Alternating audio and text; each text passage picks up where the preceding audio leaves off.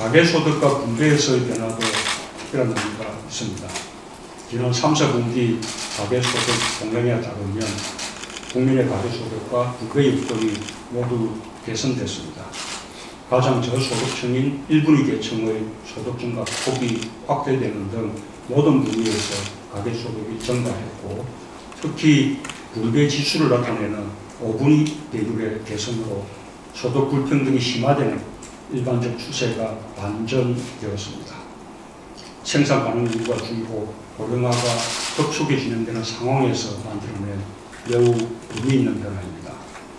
이러한 변화를 더욱 확산시키려면 복지 사각지대까지 꼼꼼히 살피고 세심하게 정책을 추진해야 합니다.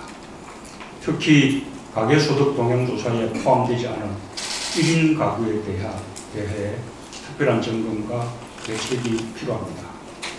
고령화뿐 아니라 늦은 결혼과 비혼 문화의 확대 등으로 1인 가구의 비중이 30%에 달하며 전체 가구에서 차지하는 비중이 가장 높습니다.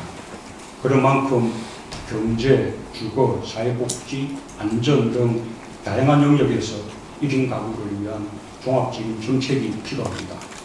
소득과 분배 관련 지수도 1인 가구를 포함하여 조사하고 분석하도록 개선할 필요가 있고 주거 정책도 기존의 4인 가구 표준에서 벗어나 1인 가구의 특성에 맞는 주택 공급을 확대하는 방안을 적극 추진해야 할 것입니다.